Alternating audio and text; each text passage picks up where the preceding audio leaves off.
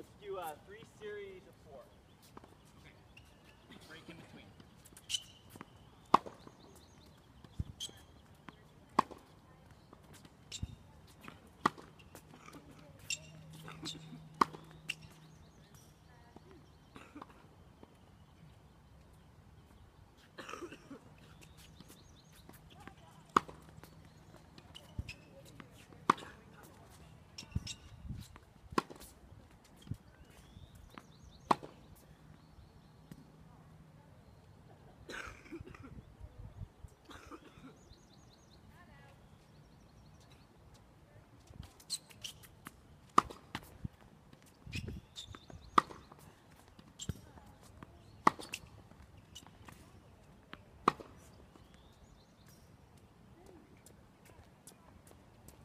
12 for 12.